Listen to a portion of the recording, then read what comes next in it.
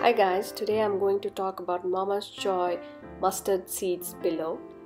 Mustard seed pillows have been used for ages in Southeast Southeast Asian countries like India, Nepal, Sri Lanka, etc. The pillow that I got is with the pillowcase pink and it's a baby pink color and it comes with the pillow and the pillowcase with two cards.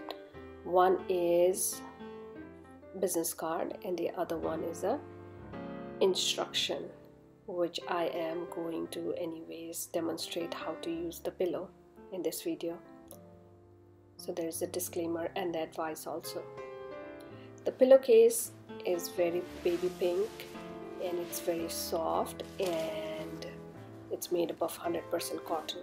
So let's get to the pillow. The pillow as you can see is mustard filled with mustard seed and you can see how it goes on one side when you just when you just hold it at the top.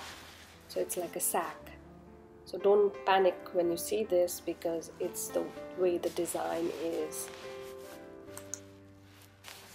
The fill material used for this pillow is mustard seed and it has two encasing. One is made up of cotton and the outer encasing is made from a liquid um, proof material so that it can prevent from the damages that can happen due to liquid spill. And also it comes with a cotton pillowcase which you can buy extra online either from um, Facebook or Etsy website.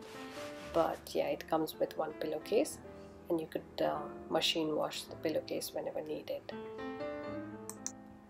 so whenever you are ready to use the pillow, just lay it flat on the surface first. And once it's flat on the surface, you try to like pat it and act as if you are making a hollow shape in between or just push the mustard seed aside which slips easily on two sides and then lay your baby on the hollow area where you need to place his or her head. Let me give you a little background on this pillow. I have seen this pillow used being being used in my home country for every child. From day one, they have their bed and then this pillow uh, where they lie on every time when they are either sleeping or on their back. They always use this pillow. And uh, my mom I used it, or my mom gifted it to me when Zane was born, and come to realize that I she used this pillow on me, and then my grandmother told me that that the similar kind of pillow were were used for children during her time too. So my mom got to use it, though my grandmother doesn't know if it was used on her because she doesn't have a family to ask but definitely this was used from day one for my mom, myself, and my son. And I thought that this was pretty neat because you know the principle behind this helps the baby to shape, helps the baby to mold their head in the way it is supposed to be, and they are not lying flat on the head, and there is a problem with the flat head and stuff like that.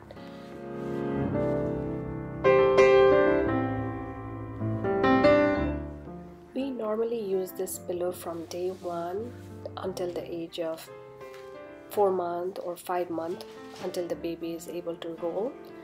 And if you're worried about suffocation then you could place the pillow under the bed sheet and lay your baby on top of it. And this pillow come is very uh, small and handy so that you could move it around. For example if a baby is lying on a play mat then you could uh, use it for the support just put, place it on top of the play mat and and the baby could rest his or her head on top of it I hope you guys find this information beneficial and lastly, before I leave, I would like to say that you could purchase this pillow either from Amazon or Etsy website or and also on Facebook.